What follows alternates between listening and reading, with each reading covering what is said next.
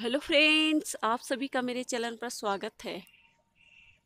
ये देखिए मेरे युका का प्लांट है। आप देख सकते हैं, अच्छे भले प्लांट पूरी तरह से कीड़े की चपेट में है। आप देख सकते हैं, इसे कीड़े ने पूरी तरह से इसके पत्ते को भोजन बनाकर खा लिए। देखिए, देख सकते हैं। देखिए कितने भयंकर हैं ये कीड़े। देख सकते हैं, अभी भी इस पर। अगर इस कीड़े को हटाया ना जाए तो ये और भी अपने आपके प्लांट को अफेक्टेड कर देंगे। जैसे कि देखिए इसके नज़दीक मेरे बालसम के प्लांट थे, और वो भी उसके पत्ते भी खाने लगे हैं। देख सकते हैं, देखिए। देखिए। तो सबसे पहले फ्रेंड्स देखिए, इस कीड़े को मारने के लिए मैं एक फंगीसाइड पाउडर यूज़ कर रही हूँ, जिसे पानी में घोल रखी हूँ। उस फंगीसाइड पाउडर का नाम है बेनफिल दिखा देती हूँ आपको।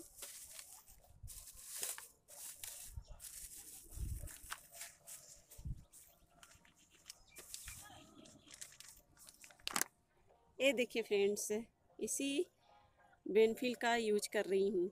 एक चम्मच के करीब मैं इसमें घोल रखी हूँ। तो चलिए इसका स्प्रे करती हूँ। पूरी अच्छी तरह से अपने प्लांट पर इस, स्प्रे करें।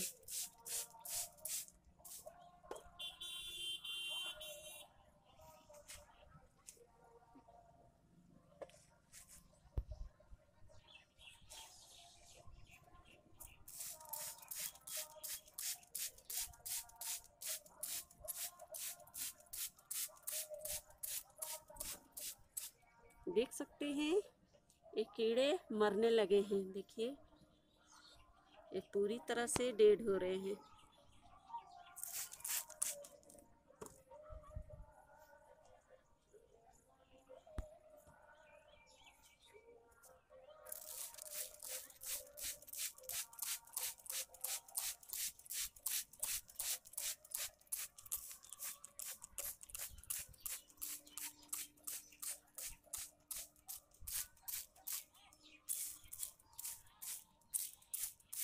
ये देखिए फ्रेंड्स ये भी आ, मर रहे हैं। आप देख सकते हैं।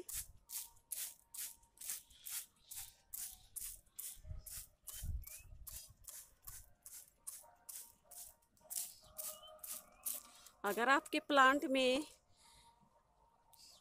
एक दो की एक दो की मात्रा में ये कीड़े हैं आपके प्लांट में तो आप कोई डंडे की सहारा से भी हटा सकते हैं। उसे कहीं दूर आप फेंक सकते हैं या फिर मट्टी में दबा दें। देखिए, आप देख सकते हैं, ये पूरी तरह से मर चुके हैं। देखिए। ये देखिए फ्रेंड्स ये कीड़े मिनटों में ढेर हो गए हैं। देख सकते हैं, देखिए, पूरी तरह से मर चुके हैं। देख सकते हैं। देखिए। देख सकते हैं।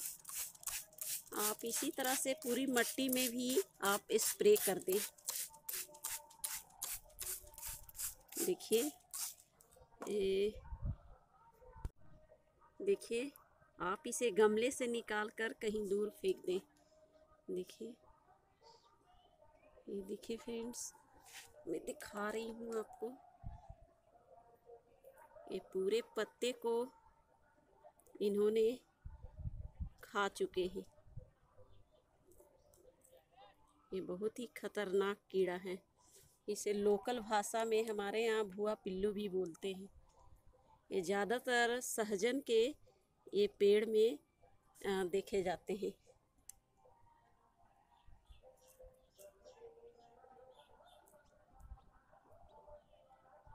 ये देखिए फ्रेंड्स देख सकते हैं सभी? ये डेड हो चुके हैं, देखिए।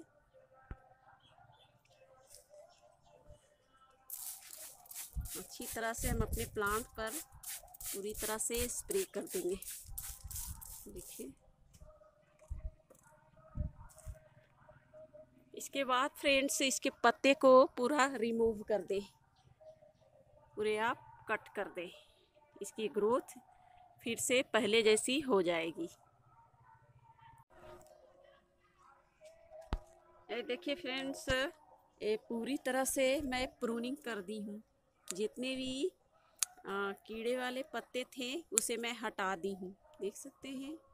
इसकी ग्रोथ फिर से स्टार्ट हो जाएगी। इसकी मिट्टी को भी हम गुड़ाई कर दे रहे हैं। और इसके पत्ते को गमले में ना रखें।